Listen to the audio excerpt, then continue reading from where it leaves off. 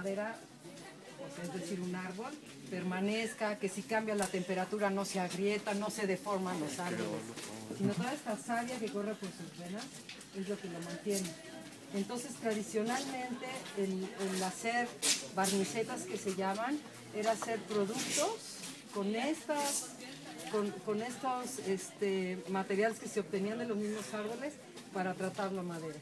La barniceta que usamos en restauración, sabrán que a veces se usa el aceite de linaza, también es un producto de los árboles. El aguarrás de pino, ahora las industrias de las pinturas hacen aguarrás de petróleo. No es recomendable porque lo que tenemos que cuidar es no ponerle cosas a la madera que la deshidraten con el tiempo y el aguarrás de petróleo lo deshidrata.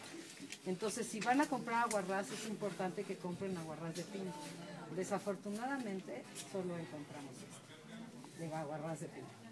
¿No? Este, me parece que no es tan fácil conseguirlo. Y bueno, es importante que sea aguarrás de pino, aceite de linaza.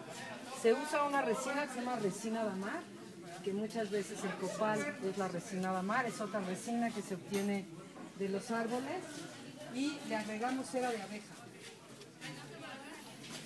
Entonces, pues sí, es una receta tal cual que hacemos, pero va a depender lo diluido o no de la receta, dependiendo de lo reseca que esté la madera. Es importante que en la limpieza y en el retiro de las pinturas en las maderas, pues no le vayan a meter cepillo de alambre que quede toda rayada, porque realmente le den en la torre. Es muy común que quitando la pintura se daña la carpintería terriblemente. Y hay otra cosa que pasa mucho con la carpintería, es que se asume que ya no sirve. Entonces es sustituida y la verdad es que, bueno, yo no sé cómo es en Chihuahua, pero a lo mejor no es la excepción, pues que la industria de la madera se ha venido para abajo en términos de calidad, porque ya no hay los árboles que había antes, ni los tiempos de secado y estofar una madera y etcétera. Ya encontrar una super madera es muy caro.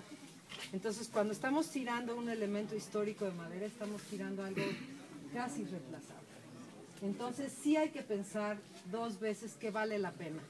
Tirar toda esa madera y hacer la leña, como decían por ahí, para hacer fogatas para la obra, o realmente pensar que esa madera que se está tirando es de un valor excepcional. La gente que se dedica a la madera lo reconoce, ¿no? Hasta llegan y te dicen, no, pues ya esta madera no hay. No, pero pues sí es un cedro es un... Sí, pero de esta ya no hay, porque es del corazón de un árbol súper antiguo y es solo el corazón. Entonces, pues ya, ni los tiempos de secado ni nada. Entonces, les voy a enseñar, vamos, la, idea es que aprendieran un poquito cómo a retirar la pintura y que lo trabajaran y pudiéramos acabar toda esta hoja, pero se mandó a, a retirar con los carpinteros la pintura de aquí, se ve que usaban removedores, sí se pasó de, estar demasiado reseca la madera, porque se ve que usaron removedores pues, de la, palería, ¿no? que fueron y dijeron, no, pues deme y sí está un poco pasada, pero no importa.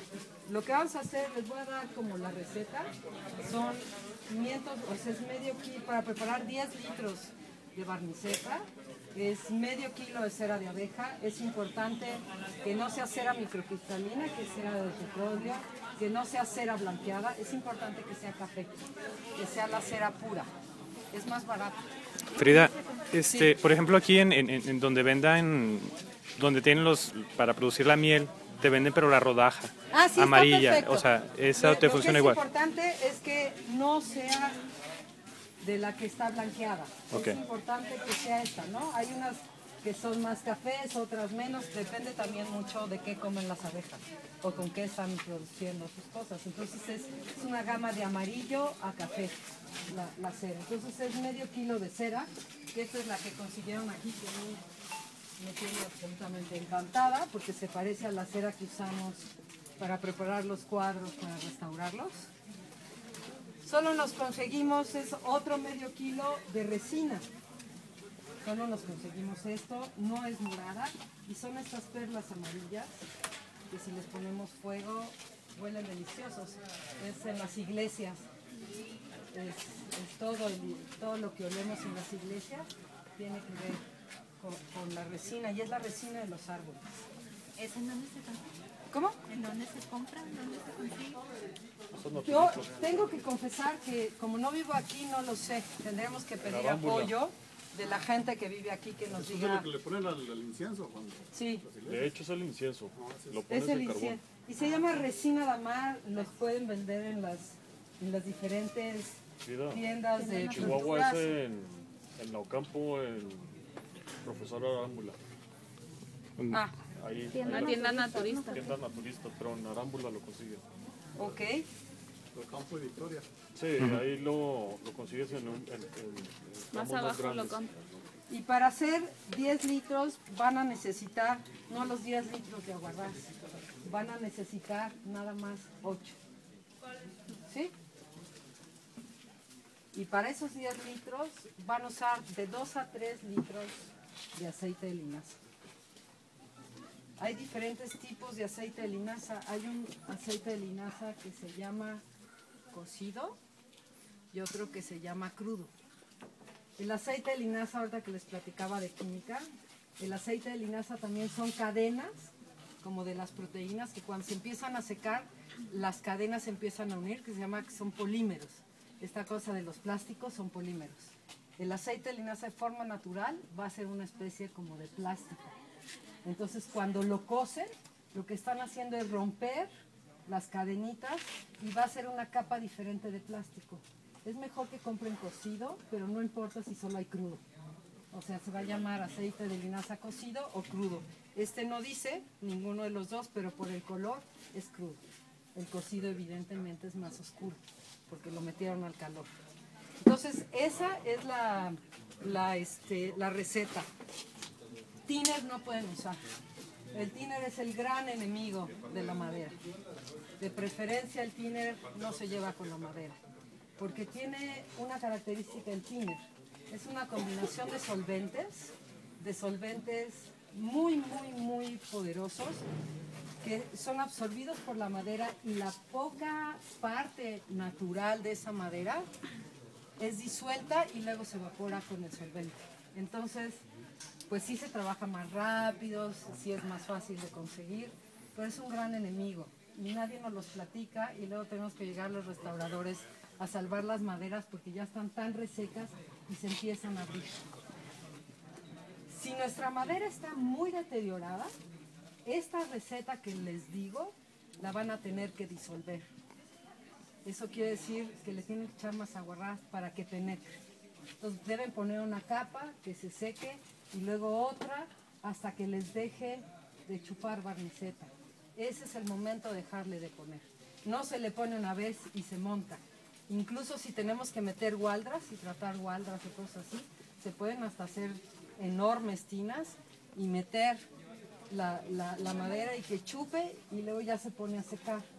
Es importante que sepan que sí cambia el color, que sí lo pone ligeramente rojizo.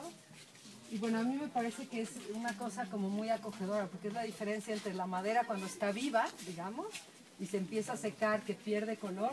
Cuando le regresas la barniceta, vuelve a tomar este color cuando estaba vivo el árbol.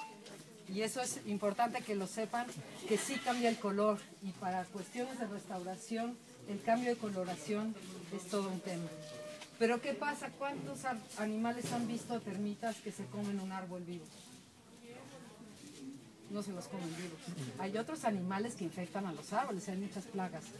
Pero las termitas no les gusta el sabor de la barniceta. Entonces impregnan bien su madera, las termitas van a decir, yo de esta no como, mejor me sigo de largo con la que tiene un super barniz marino. ¿No? Porque es muy común que ahora nos venden unos grandes barnices que son recubrimientos, pero no están realmente hidratando y nutriendo nuestra madera, nada más la están recubriendo. Entonces, ese es como el criterio como distinto de tratar con la barniceta.